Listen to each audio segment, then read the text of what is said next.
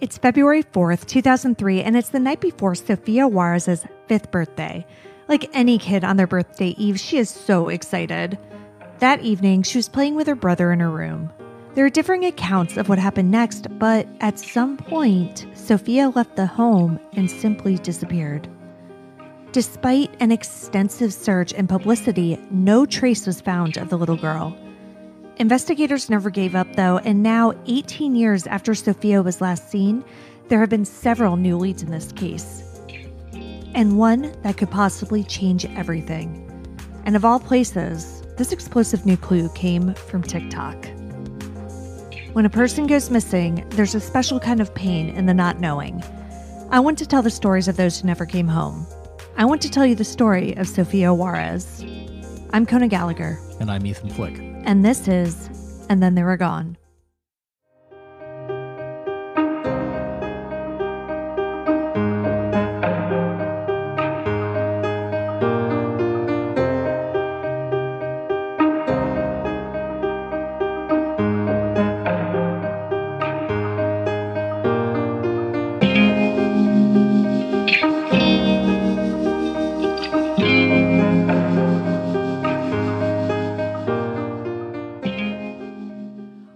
Back, everyone. Welcome back.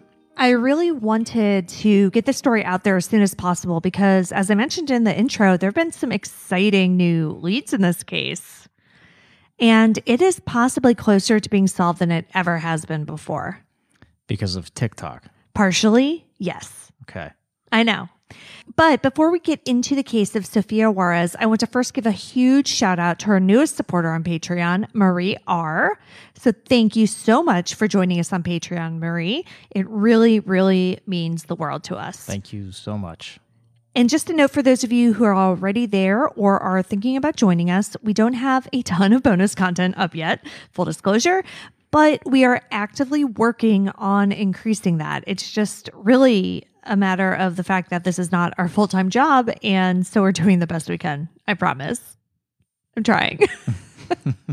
but we are trying to get up more as, you know, as soon as humanly possible.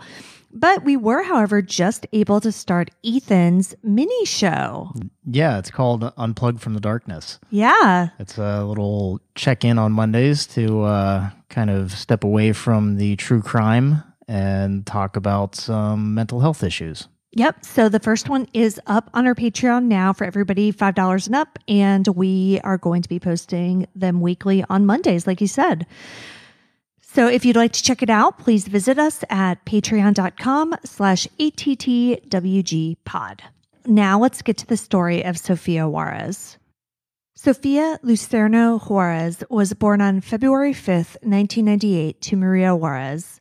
Maria was a teenager when she became pregnant with Sofia and didn't have a relationship with her daughter's father. Maria was around 16 when Sofia was born, but she came from a tight knit family. The Juarez family was originally from Mexico, but they had mainly lived in California, and I do believe that's where Sofia was born. But at some point, the family moved to Kennewick, Washington, and Maria and Sofia came to join them around 2001. Maria, Sofia, and Sofia's younger brother lived in a home with Maria's mother, Ignacia Juarez, Ignacia's boyfriend, Jose Torres, and six aunts and uncles, as well as various cousins. Mm. So, crowded house. Yeah, very packed house. So, what you I'm sorry, you said Sofia's little brother? Yes. So, Sofia had a little brother. And is uh, his dad in the picture? I do not know. I couldn't find anything about his father. Okay. Now, I've read various accounts of what happened next, with some saying that Sofia simply slipped out of the house without anyone knowing, but it doesn't seem like that's actually the case. Based on articles that came out at the time of her disappearance, it seems as though Ignacia's boyfriend Jose, he who was basically like a grandfather right. to the kids, yeah, Around 8:30 that night, he asked if any of them wanted to go to the store with him. He had to like pick up milk and get gas, just, you know, going it was little, literally just going to the convenience store down the street. Okay. None of the kids said that they did, but apparently Sofia changed her mind at the last minute. She went into her mother's room to ask her, and her mother gave her a dollar to get a treat at the store. So, with the dollar in her pocket, Sofia left the house after Jose. So I I'm sorry. Did you say Jose was was driving to the convenience store or walking? Uh, yeah, he uh, was driving because he had to go get gas, Right. Okay. but it was like right down the street. So it's it's something that was within walking distance, but he was driving because he had to get gas. so four year old little girl walks down the street. Right. And well, but that wasn't the plan, right? Like uh, Maria thought that Jose was like still out there and she was just literally going outside to get him. Gotcha. Okay. Yeah, because you know, we have kids and we know that getting them out of the house isn't as simple as just giving them a dollar and sending them on their way. Like this was 8:30 at night, so and Sofia was playing, so she almost certainly didn't have shoes on, right? Yeah. And who knows if she was even dressed? Like she could have been in pajamas. Yeah. She could have been ready for bed. Exactly. So who knows? So I'm sure Maria had to get her ready to some extent. When Sofia left the house, she was wearing blue overalls, a red shirt, and white Converse sneakers. And Maria reportedly did see Sofia leave, but what she didn't know is that Jose was already gone. Okay. And Jose didn't realize that Sofia had changed her mind.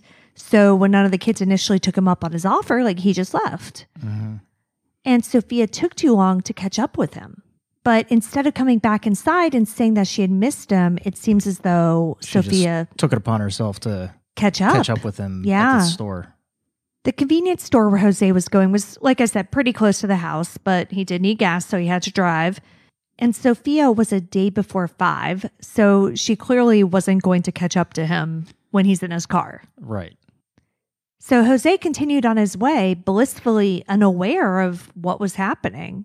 He went to the store, filled up his tank, got his milk, and then used the payphone to make a call to Mexico. Mm. So, like, he just took his time, you know? He, Well, sure, none of the kids were with him. Yeah. So he didn't have to like listen to them complaining. So he's like, I'm just going to go out. I'm going to make a call, you know, whatever.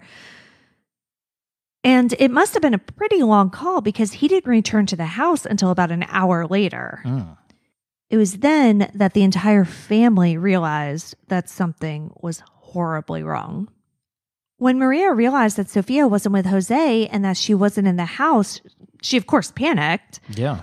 She quickly called the police, who arrived three minutes later. Wow. Yeah. It was cold that night, only about 36 degrees. So, that combined with the late hour and Sofia's young age, the Kennewick Police Department did not waste any time thinking she was like hiding or playing outside somewhere. Good. I mean, good. Good response. Right, right, right. Three officers initially responded to the home. One interviewed Maria while the other two searched inside and outside.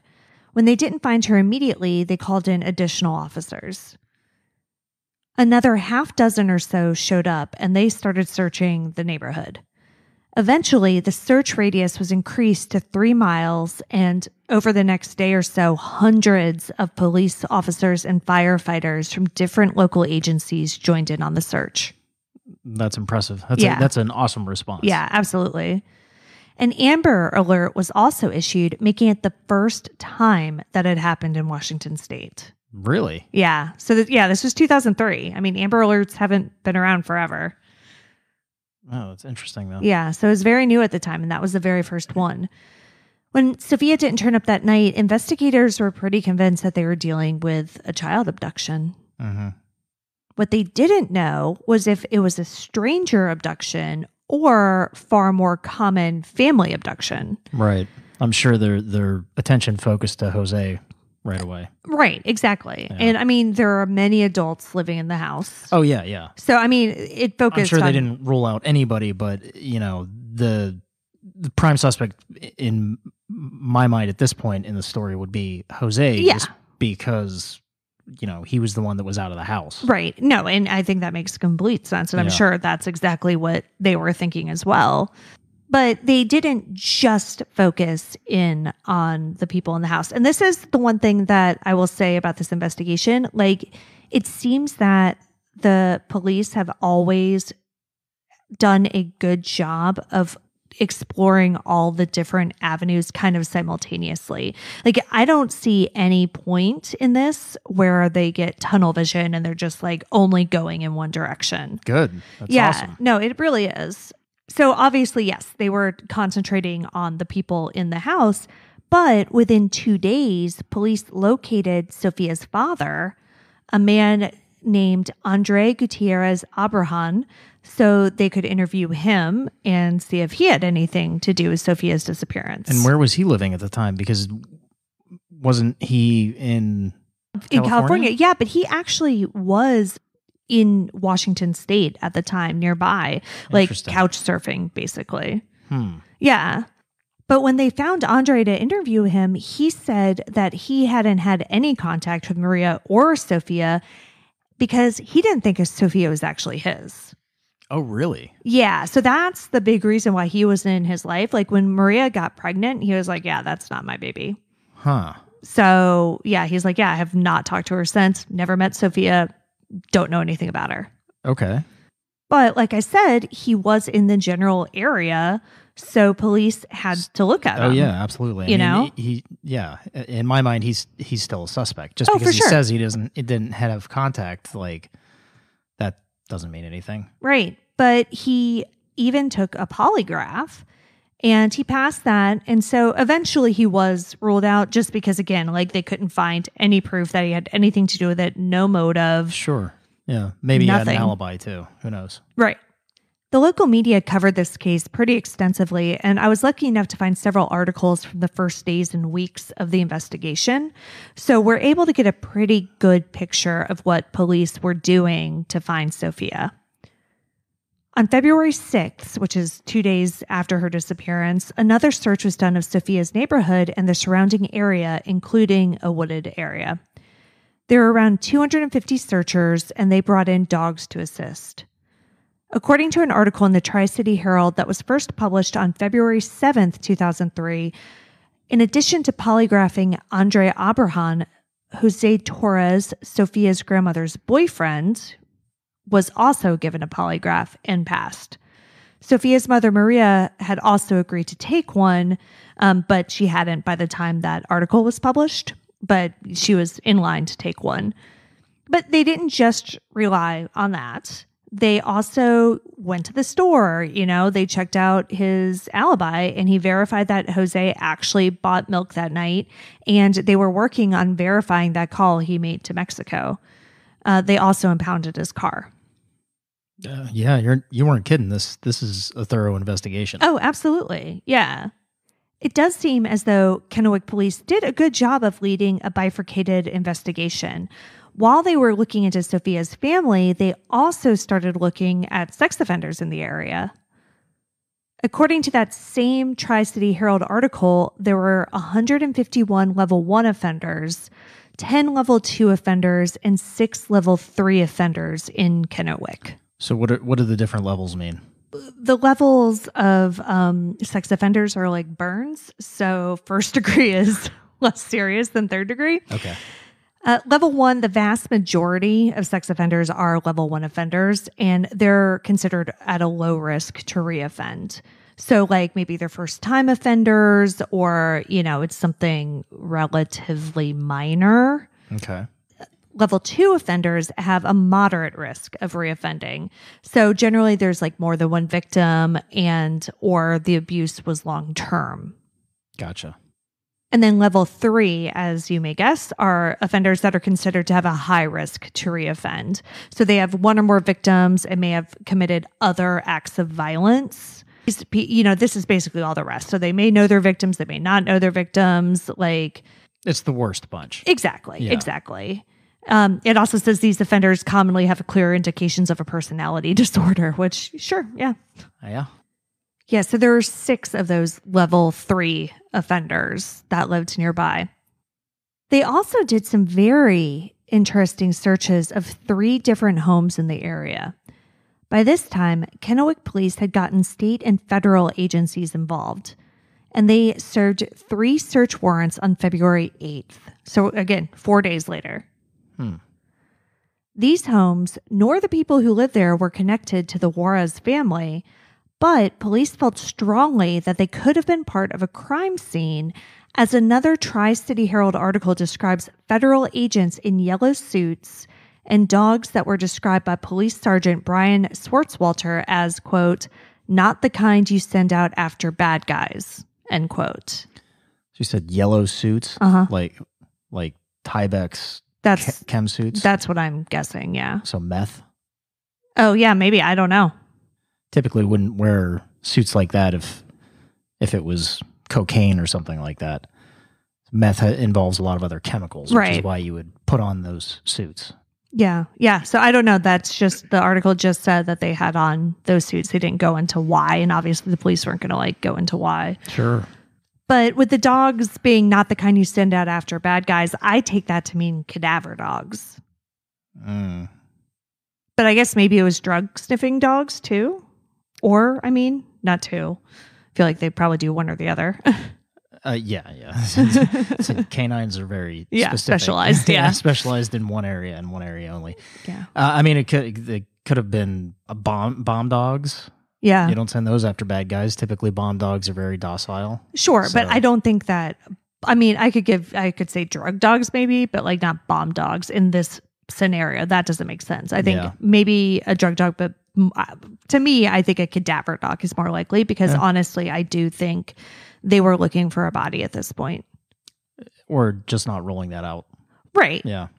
During the investigation, police impounded a van from one of the properties. They also brought a locksmith in to search the trunks of several other cars at the homes. So, why these homes? Well, according to one of the homeowners, it was a witch hunt. Okay. Catalana Katie Vargas told the Tri City Herald the day after the search, which included her home, quote, I am innocent. My boys are innocent. I don't know the Juarez family, end quote. And because she had two teenage sons Uh huh. who lived with her. The other two homes that were searched belonged to her family members, and both of her high school aged sons were taken in for questioning. So I'm, I'm waiting to hear the connection. Did, did they? Li- you said they lived close by. Yeah, but the Juarez family did not know them, and they did not know the Juarez family. Okay. Yeah. The scrutiny probably had something to do with Katie's other son, Jeremy Sagastegui. On November 19th, 1995, when Jeremy was 25 years old, he was babysitting for a friend, Melissa Sarbacher. He was watching her two children, a one year old girl and a three year old boy named Kevin Sarbacher. At some point during the evening, he sexually assaulted, beat, stabbed, and drowned little Kevin. Jesus Christ. He then waited for Melissa to come home, and when she did, he shot her and her friend who was with her, a woman named Lisa Vera Acevedo. Both women died. Melissa's one year old daughter was unharmed. Jeremy Sagastegui was eventually convicted of three counts of aggravated first degree murder. He was sentenced to death and didn't fight his execution. His mother, Katie, the one who we were talking mm-hmm. about, attempted to fight it on his behalf, but her efforts didn't work. Jeremy died by lethal injection on October 13th, 1998. Okay, so they're targeting the family because of because of the older son. That's what I thought when I was reading through all of this. Because that is, and that's not even a connection, obviously, but that is the only reason I could think of why they were targeting this family. But keep this story in mind because this comes back later. Okay. Despite extensive searches of these homes and property, no trace of Sofia was found in any of them. But the police still had other clues. On February 11th, police told the Tri City Herald that they were looking for the driver of a van that was seen at Washington Street and 14th Avenue, which was on Sofia's route from her home to the store, around the time she disappeared. This van, which is described as a silver or light blue mid 1980s panel van with no windows, it was like a painter's van or a contractor's van, but police were sure to clarify that it wasn't necessarily actually a painter or a contractor's van. It's yeah, just, that's just that's like just what a it general looked description like. of it. Yeah. yeah. The van sighting coincides with witness reports of a teenage Hispanic male and a young Hispanic girl in the same vicinity. Police also arrested a man named Kevin Ireland in relation to Sofia's disappearance. His wife told police that he had called her and made some weird comments about Sofia. So they searched his home, questioned him, took DNA, but there was never anything to make him a suspect. So he remained simply a person of interest who is more than likely just a creep Yeah. And completely unrelated to this case. So when he was arrested, like he was eventually charged with telephone harassment. Uh, just because that was like the only they obviously were pissed and wanted to charge him with something. Well, yeah, it, it that stuff like that takes the the investigation and you know it, it, it pulls focus. yeah it, it pulls focus and it pulls resources. Exactly. Yeah. So, So, yeah. So I I think they were pissed and they're like, telephone harassment, bitch. Though police were running down every lead, they unfortunately just started to dry up. By February 13th, police said they were finished searching the neighborhood. Sergeant Randy Maynard told reporters, quote, I know some people in the community are starting to get critical. I can't say that I wouldn't be the same. I want them to understand as a department, this is our entire focus. End quote.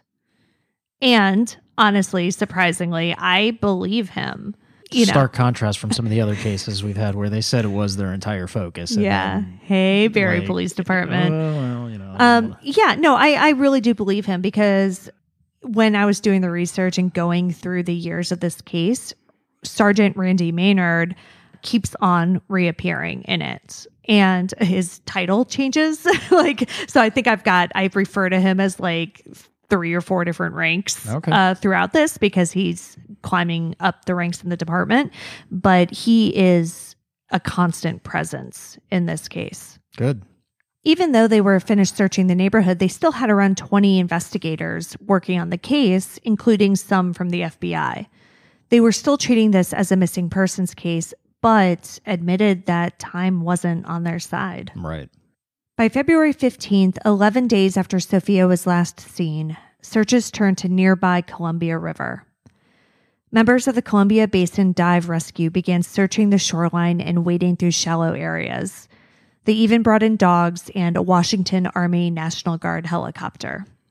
Over the next several weeks, Sofia's case started to gain national momentum. She was featured on America's Most Wanted, and NASCAR driver Damon Lusk, who graduated high school in Kennewick, raced the Busch Series with a photo of Sofia on the trunk of his car. Wow. Yeah, in lieu of a sponsor logo. Holy shit. Mm-hmm. And while those efforts did result in phone calls, they didn't result in any solid leads. Detectives seemed to be incredibly invested in solving this case, but eventually there just wasn't any more that they could do with what they had. As time went on, there were a few unconfirmed sightings, like the 10 year old neighbor who claimed to see Sofia walk down the driveway and talk to a man in all black. There was the drug informant who told authorities that they could find Sofia's body on a farm. In May of 2003, three months after her abduction, police started searching for an orange van with double J's in the license plate number. The driver of that was reported to be a white male between the ages of 35 and 40 with a thick blonde beard. But that connection was tenuous at best. Witnesses had basically just reported seeing that van generally in the vicinity at generally the time of her disappearance, but there was nothing else that indicated that it had anything to do with her case. What color did you say that van was? Orange. Oh, yeah, that's that's definitely different than the other van. Yeah, yeah. So the other van was like a blue, gray, silver type van. Yeah. Interestingly, or almost unbelievably, investigators still thought Sofia was alive even eight years later. Kennewick Police Detective Sergeant Randy Maynard, who I mentioned just a few minutes ago, who he was one of the original officers, told the Tri-City Herald in 2011, quote, "My gut is that she's alive. If she's deceased, we'd have found her remains. Maybe that's hanging on to hope. I don't know." End quote. I mean, it's it's confidence in your, you know, searching ability for the for a body. It is, especially in Washington State. Because again, Right. so this We've is our second. cases. Yeah. Well, just last week's on Lo- Logan Schindelman. Yeah. Didn't we have another one that? Yeah, Kyron in- Horman. And yeah. Yeah, So lots of trees in Washington. right. Right. But they did not think that they had missed her. No, I mean, good for them, and maybe they didn't. Yeah. I mean- yeah. And I mean, again, like maybe he really is just hanging on to hope, but it's nice to have an investigator on a case like this that is hanging on to that hope. Right. Yeah. Exactly. Because he, if if he's hanging on to that hope, he's going to drive the, that investigation forward Absolutely. instead of just waiting for the. uh, Not to sound cruel, just waiting for a body to turn up. Right, right. And, you know, so this quote was in 2011, you know, so eight years after she disappeared. Yeah. And he was still doing it. Like he was still running down leads. Someone contacted them right around that time saying that there was a Sofia Juarez on Facebook who was living in Long Beach, California. so, I mean, well, I know sure, but I mean, But the they name still- Sofia Juarez, like that's not. it's a very common name. yeah. but they still ran her down and like checked it out. They didn't just ignore it. Yeah. No, that's that, that's good. Yeah. On the 10th anniversary of her abduction, police said that Sofia's disappearance had basically reached urban legend status. There were just rumors, you know, swirling around about what had happened to her. One was that she had been accidentally hit by a van and then buried. That one apparently came up a lot. Another was that she was abducted by someone she knew and was living in Mexico. Yeah, Uh, slightly more plausible, but aren't all of her or most of her relatives Right there. within the United? Well, yeah, in the house. It sounds like. Basically in the house, yeah. But I mean, yeah, and I, I'm sure they do still have family back in Mexico Sure. because you know Jose was calling Mexico. He's not in her family, but you know, Clo- either way, enough. I'm sure they still have connections. But yeah, you're right. I feel like there's not really much of an import business into Mexico. I feel like most of it's coming out of Mexico. hey, I don't know. I I mean, mean, I don't know, People people do things all the time. Sure. but yeah, yeah, I mean, because you got to think just in that house, Sofia was living with her mother, her brother, you know, and all of her mother's six siblings Yeah. and her grandma. And apparently, so Jose, you know, was Ignacia's boyfriend, but um, Sofia's biological grandfather also lived nearby and like apparently came out and, you know, joined in the search and things like that. yeah. So yeah, like her family was very close and they were all there basically. Right. I don't put a whole lot of stock in the uh, getting hit by a, van and then buried. Because, Yeah. the, I mean, how many witnesses uh, were around at the time? It seemed it seemed like they got a lot of witness statements. Well, yeah, they got several witness statements. Yeah, the the van thing and it was never a witness who saw it. It was more like, "Oh, I heard that." No, yeah, no, I Yeah, understand that. I'm just saying, like, it, it, you have witnesses that can identify seeing the gray van, Right. uh, you know, possibly with Sofia in it, right? You said it was a Hispanic male with a young Hispanic girl. Yeah, but the information that was given at the time Mm-hmm. didn't necessarily connect those two. It didn't necessarily say that that was Sofia at all. Okay. And it didn't necessarily connect them to the van. Like there they didn't say like, oh yeah, there are these two people we saw them getting into the van. It just said there are these two people, there's also a van. Okay.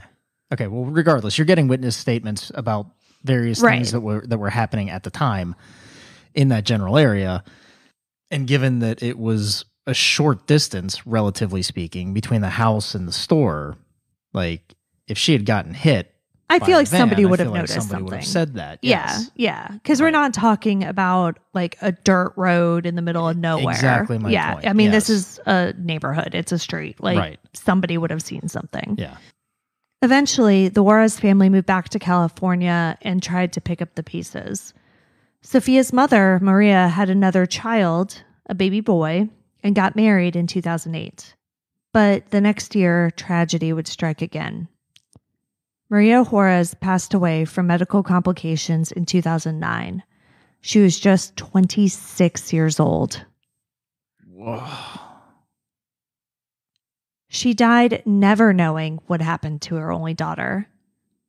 Her ashes were returned to Washington and spread from the corner of 15th Avenue and Washington Street, where Sofia was last seen, to St. Joseph's Catholic Church, where they held a mass for her.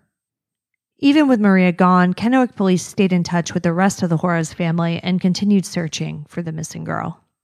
And to be completely honest, it looked like no one would ever know what happened to Sofia at this point.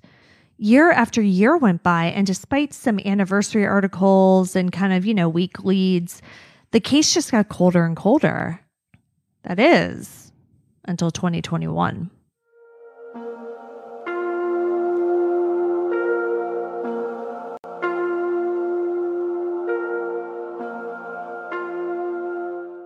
February 4th, 2021 was the 18th anniversary of Sofia's disappearance.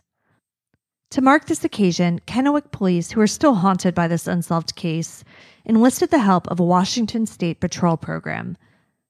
The Homeward Bound program's goal is to bring attention to missing children by posting their photos and information on the sides of tractor trailers.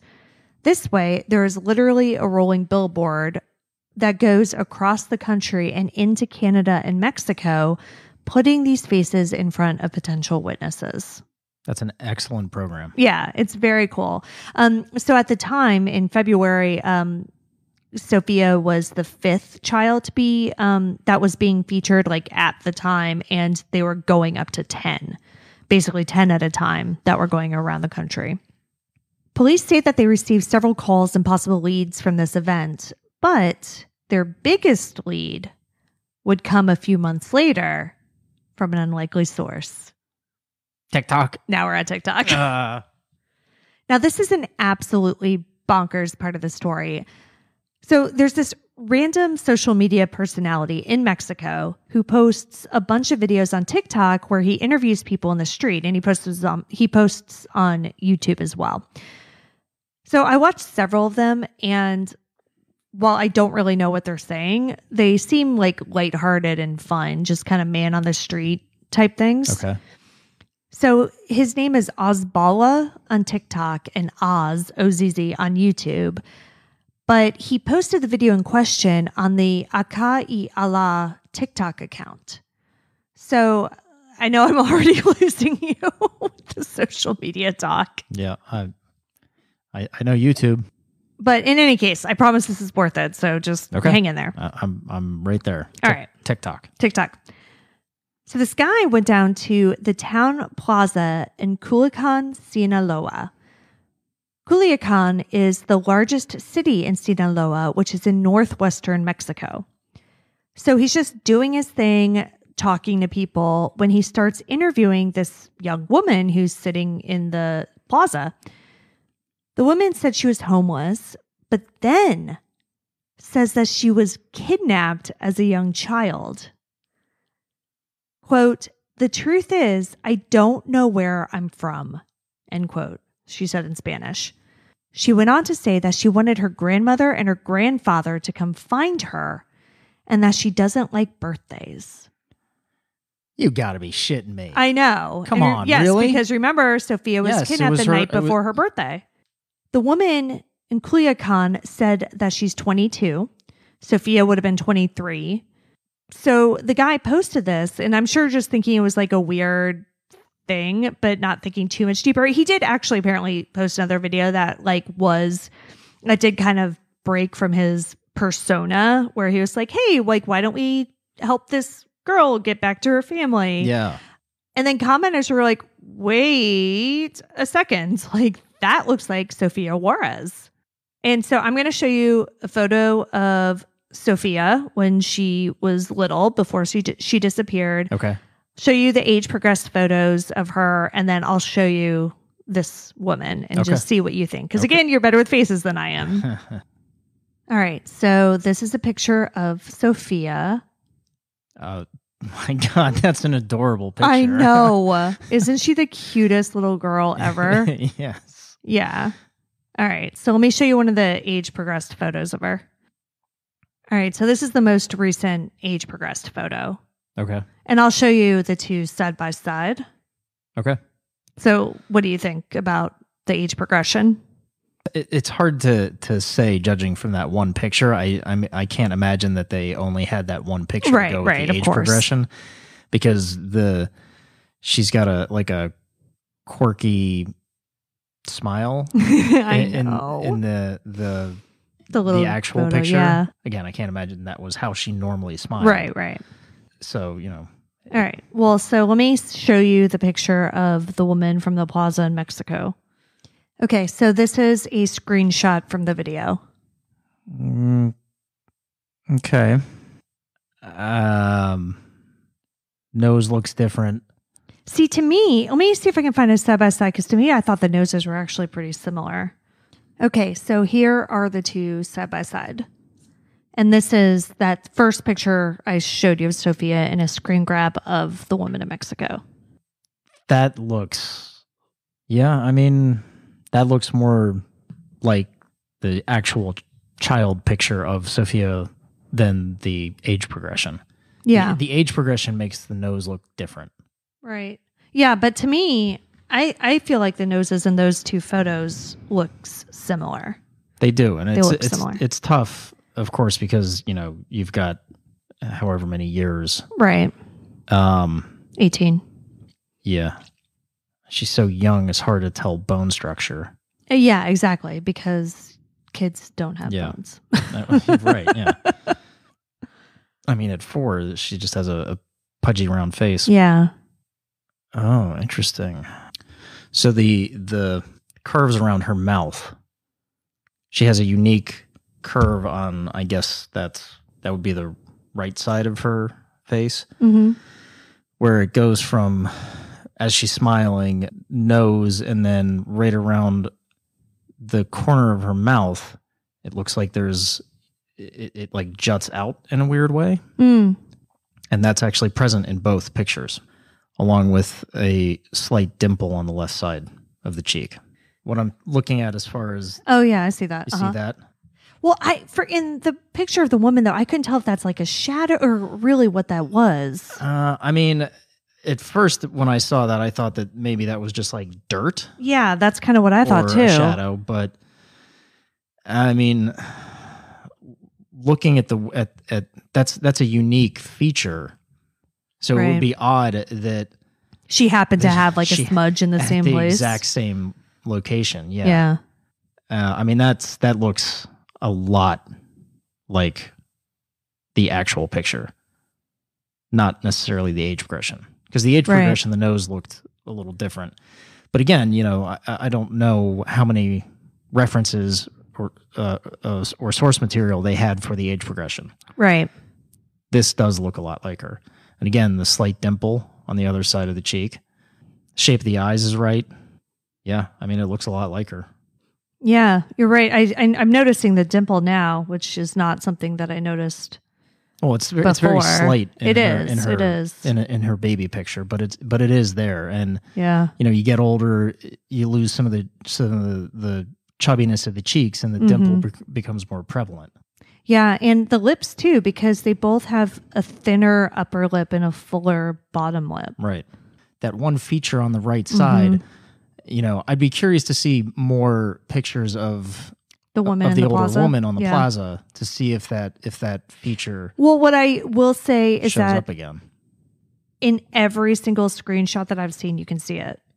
So I don't know. I mean, it, it that could be a scar on her face. The older, Right. the the woman. Yeah. Uh, it, it could have been dirt. I don't know, but from what I've seen, it, again, it's it's it's a unique characteristic of her as a child, and it would be a crazy circumstance that Right. this woman, who is basically describing what happened to Sofia, to have a mark in that same location Yeah. or a scar in that same location. I- Yeah. I mean, nothing surprises me really at this point, but uh, I don't know. I, I, I've said it before. I don't believe in coincidences. I do. I know you do. I don't. I do not. Yeah. So once this whole thing started getting steam, people began to contact police, both in Kennewick and Culiacan. The guy who made the video was cooperative and took local authorities back to the town plaza where he met the woman, but they haven't been able to locate her. However, after further investigation, it sounds like she might currently be in rehab. Hmm. She also talked about having issues with drug addiction in the video. That was one of the other things she touched on. The woman's family apparently also has been contacted about the video, like I think just not by police, but not necessarily, but by somebody who saw it. And they're like, no, we did not kidnap her. Like, please stop.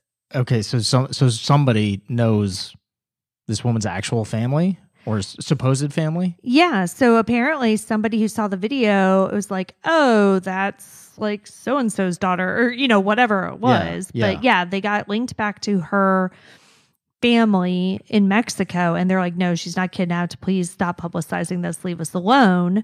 But police aren't just like taking their word for it. So they are still investigating. Like I said, she might be in rehab. And I think that's making things difficult. But they're hoping to track her down, speak with her face to face, and Yeah. then hopefully get her to agree to t- give a DNA sample because they do have Sofia's DNA on file.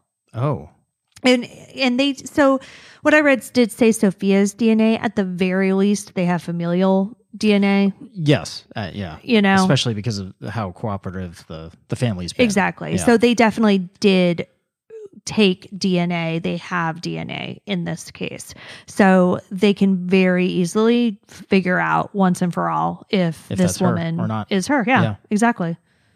Well, that's crazy. So it's really just a matter of finding her and hoping she agrees because like they can't compel her to give up her DNA. sure. I mean, you can. what, was the case? The the coffee shop diner. Yeah, Chili's, man. Chili's, Take her to it, yeah. Chili's. I Get some there, DNA there, that There are ways you can. Get Oh no, DNA. for sure. Like they could go about it, but I'm just saying, yeah. like they can't legally Oh, no, force no, her no, to no. give DNA. Right. So yeah, so that's And this all has to be done, of course, with the cooperation of the the local uh, yeah, police lo- in Mexico. Exactly. Yeah. Exactly. So we're talking, yeah, many jurisdictions. It's it, it it's going to be a thing. So I don't think this is necessarily going to get figured out, ex- especially soon. You know, because this was in this has already been going on for uh, almost two months, I think, by now, Mhm. and we still don't have any definitive answers. So you know, it's it's a process. Yeah. But that's not all that's happened recently. Are we going to get back to that family now? Yeah. Okay.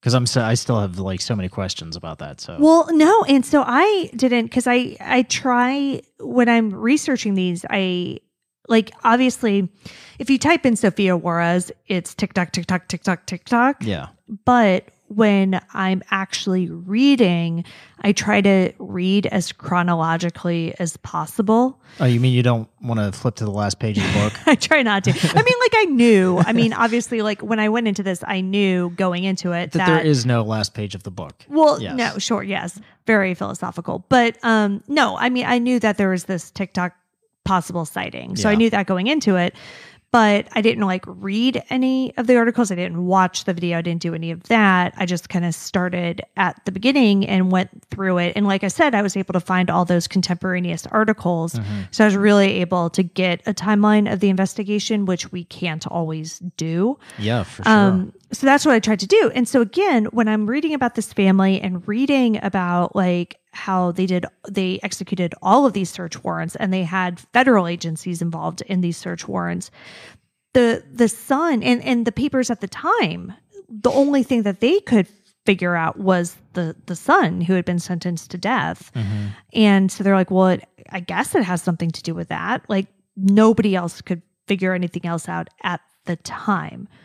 But now, again, we're coming back. Okay.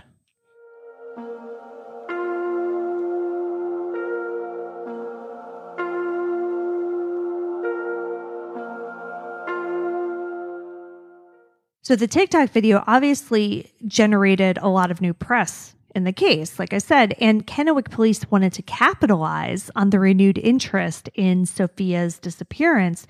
So they released some bombshell information that they had been sitting on since 2003. Okay. This information is in the form of a witness account that came the day after Sofia's abduction. The headline on an article, just like to give you an idea of like how like much of a bomb the police dropped.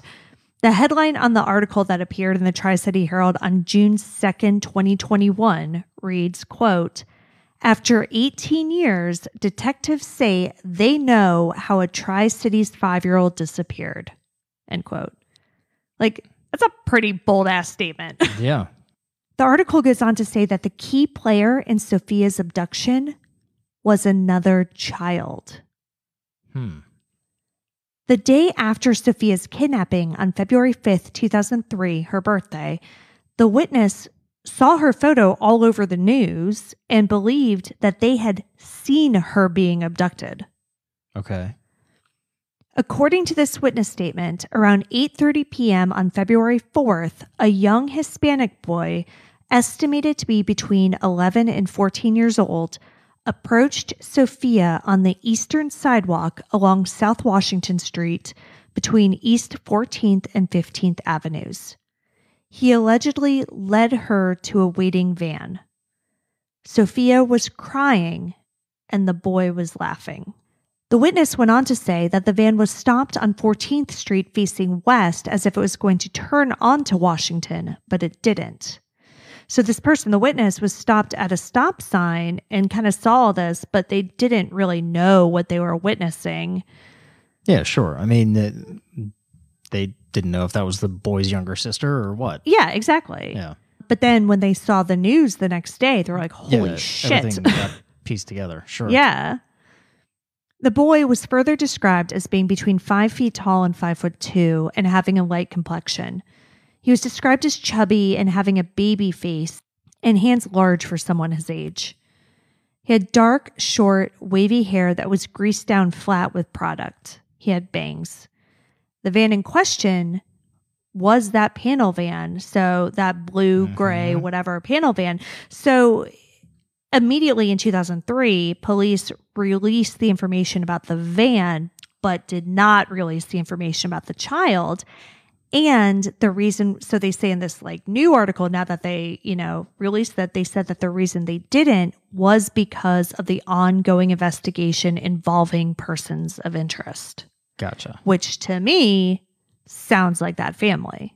And that's why they were looking so hard at the family. One, because of the older brother having, you know, had a very similar violent crime in his past, and the fact that she had two high school aged sons. So, is there anything more definitive linking that uh, witness statement to the family, Well, I don't know that family that was investigated? right for the Vargas family. So I don't know of anything more than that. That could have been all it is. It could not have been. There could have been more, but it seems as though that the Vargas boys were ruled out, I guess, or, you know, they, cause I don't think anything really came of those searches, right? So mm-hmm. it sounds like the police got this tip the day after her disappearance. It led them down the path to the Vargas boys. That ended up not turning up anything. So they still didn't want, you know, they, I don't know if they were still kind of keeping an eye on them or, or what but I think that's what led him down there. It didn't end up going that way. And so, They didn't. Yeah, they didn't want to show their hand in case. Right. but I still think that police at that time, when they went searching the Vargas homes, that they were looking at it from a homicide angle, Mhm. which obviously doesn't fit with the woman in Mexico, right? I mean, it's kind of one or the other. Either it was a kidnapping and a homicide, or a kidnapping and she's off living somewhere. Right. I am still really interested in this woman in Mexico, regardless of how insane that would be. Because, as I briefly mentioned earlier, Sofia being kidnapped and taken to Mexico was a rumor that had been around for years. Right. And back in February, before the sighting happened, Commander Randy Maynard. Oh, commander now. Yeah. Wow. Yeah. Of course, he's the one who told the Herald back in 2011 that he thought Sofia was still alive, was interviewed on the podcast Washed Away. And again, this is back in February before anybody knew about this lady in Mexico. On it, he discussed, you know, a bunch of the different rumors, including the Mexico rumor, saying, quote, there was a concern raised by somebody, not in our department or not as part of the investigation, but somebody with a connection to the family that, excuse me, Sofia's mother had some developmental delays. And there was some concern levied somewhere that Sofia was not being raised uh, as someone desired that she should be. And the premise was that she was uh, she was taken from her mother and sent to live with relatives or someone else uh, in Mexico in order to be raised in either a more traditional culture environment or whatever the reasoning was. End quote. Yeah, and so That's interesting considering, uh, again, as we discussed, like it seemed like Sofia's entire family was in the area. right.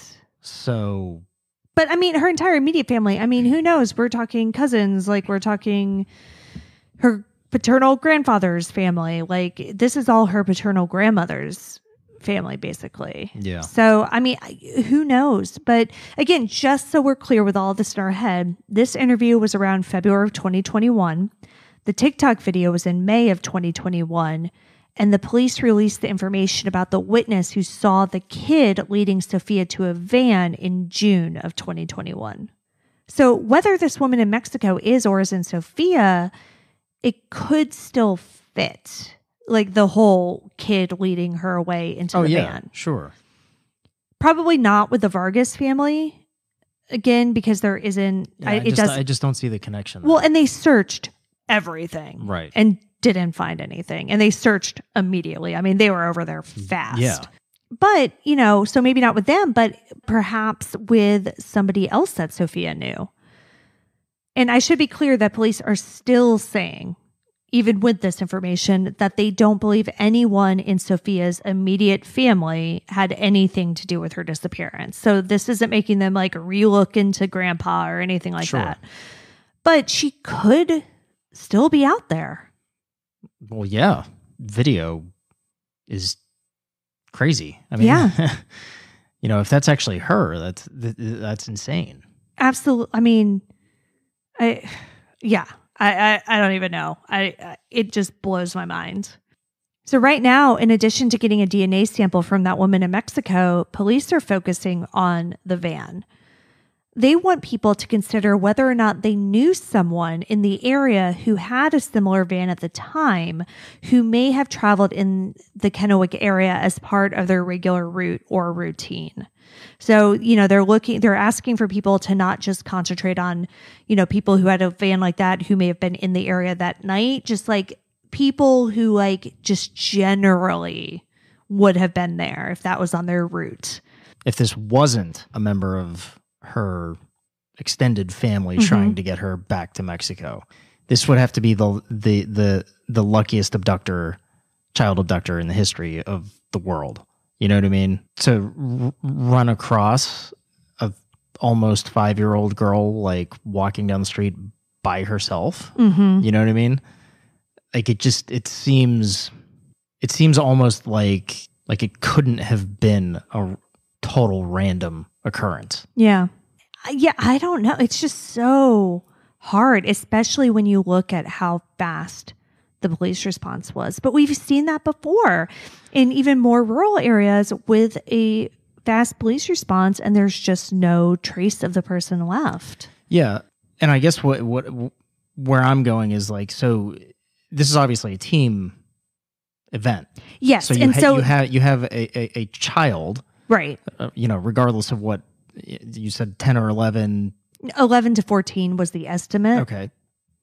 So a child But maybe somebody older because they said so they said that the child had hands. yeah, but a baby face. Yeah. So it could have been an older teenager Sure, who just looked young. Yes. Okay. But again, Uh, uh, still. but, but a- yes, either a way, kid- police police do not believe that this kid, whoever he is, decided to just kidnap Sofia. Right, and that's They- that's my point. Is that- Exactly. so now you're dealing with a team that has a, a mm-hmm. kid who's been groomed mm-hmm. to aid in abducting children who happen to be on a street when randomly Sofia is walking down the street by Right. herself to meet up with grandma's boyfriend. Do, do you see what I'm saying? Like, Yeah, you're right. I, I think that you're is- right. This is too much. The again- odds of it are even crazier than if it was just one crazy guy. Yes, Yeah. that's my point. Yeah. So So, like looking at the Morgan Nick case, where you know she got separated and the guy in the red truck Right. pounced. yes, But you're right. I mean, having a team just happen upon this random occurrence, Right. because again, I mean, this is a very random evening occurrence. It's not something that Sofia normally did. It's not a time that a an almost five year old would typically be out walking. Yeah, and getting back to to the Morgan Nick thing, it was Mhm. also during a, a, little league game or Yeah, was a it- little league game. So that person was hunting.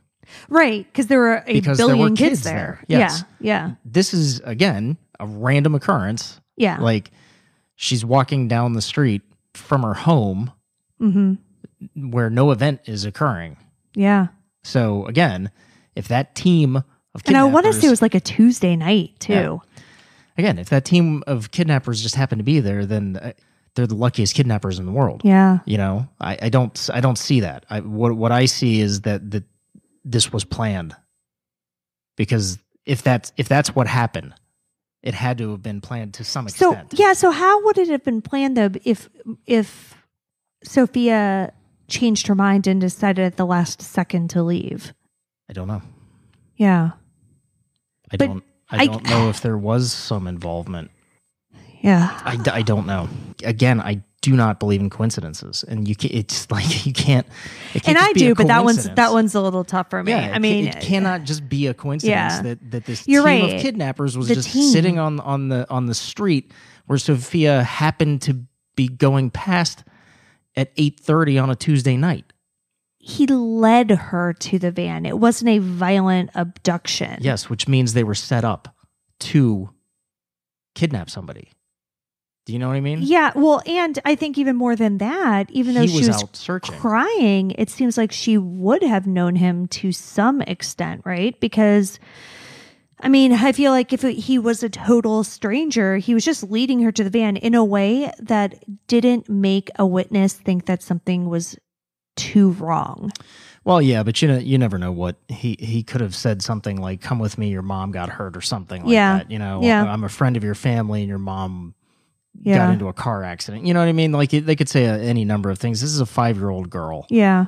You know, uh, uh, any five year old, if you know they hear somebody saying, "Hey, I'm a friend of your mom's," or uh, I'm just throwing that out there. No, know, I- no, I- I get what could- you're saying. You're right, you're right. easily be they could very easily be manipulated and scared at the same time, Right. and then start crying, but also go along with it. Yeah. Yeah. And, the- you know, these people are master manip- manipulators. That's that's how they abduct kids. So, but again, uh, you know, it just it just seems like it seems crazy to me that it was that that if that's what happened, that Mhm. it, it was just circumstance. that's a good point and uh, yeah i didn't think of this being a team aspect especially a team with a child as making it less likely that it was a complete coincidence you know a crime of opportunity type thing. Yeah, but you're right. I mean i think it especially because it does involve a minor. I mean if it was two just like dirt bags driving Adults. around Yeah. then I could I could buy it a little bit more. It would be less difficult for me to just think that two dudes could agree to do this at the spur of the moment. You're right. I I think uh for a child to be involved like that, he would have had to have been groomed, and it does. Yeah, it doesn't seem like something that they were just passing by on their way to the movies or whatever, yeah. and decided to just abduct a five year old on a whim. Again, if if that's what occurred, Yeah, because we don't know. we don't know. I mean, the police do say that this witness is highly credible. And, you know, again, they've they've known this from the very beginning and they still think that this sighting is credible enough that they're releasing the information 18 years later because they do believe this is what happened. Yeah. The headline said, like, detectives believe they know what happened to her. Like, police believe that that is what happened, that this child led her into a waiting van. And so I guess, you know, what happened after that is really the part that we need to figure out. Like maybe the harm befell her, or maybe she's in Mexico. Kennewick police have started a website dedicated to bringing Sofia home. It's linked on our blog, and on it, they are asking for the public to submit any information they may have, no matter how insignificant it may seem. They say, quote, somebody out there knows what happened to Sofia or at least has suspicions about someone that may have been involved. Now is the time to come forward and help bring answers to Sofia's family. End quote.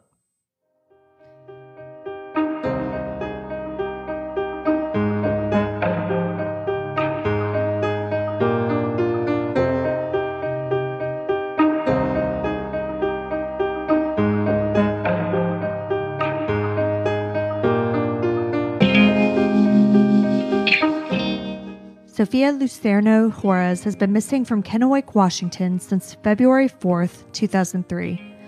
She was three feet tall and approximately 33 pounds. She had black hair and brown eyes. She was missing her top four front teeth at the time of her disappearance and had pierced ears. She was one day away from being five when she was abducted. She would be 23 today. If you have any information about what happened to Sofia Juarez, please contact the Kennewick Police Department at 509 628 0333. You can see all of the sources for this episode, along with photos and videos, at our website, and then they were gone.com. And be sure to follow us on social, and then they were gone pod on Facebook and at ATTWG pod on Instagram and Twitter. If you like what we're doing, please subscribe and consider leaving a five star review on Apple Podcasts. It will help new listeners find us. And the more people that listen, the more chances we have of bringing someone home. And we'll see you here next week for a brand new episode. See you next week. And Then They Were Gone is hosted by Kona Gallagher and Ethan Flick. All research, writing, and editing is done by Kona Gallagher. Theme music is The Stork by Ketsa. Additional music is provided by Kai Engel and then they were gone is the Little Monster production. Hey, you can do it!